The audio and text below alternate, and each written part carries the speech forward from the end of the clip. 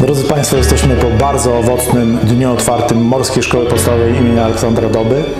Dzisiaj obok tego, że pokazywaliśmy, opowiadaliśmy o tym, co i jak robimy w naszej szkole przy ulicy Rogalińskiej, bardzo duże zainteresowanie było rodziców, którzy zamierzają posłać swoje dzieci do naszej drugiej szkoły, która się buduje przy ulicy Srebrnej 11. Setki rodziców, dlatego głos zdarty.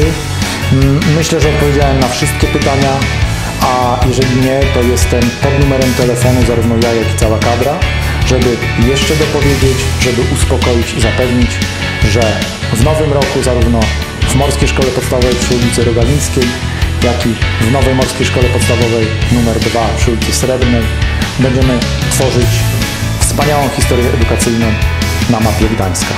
Dziękuję i zapraszam do Ołuszku. Pozdrawiam, Kamil Gajewski, dyrektor szkoły.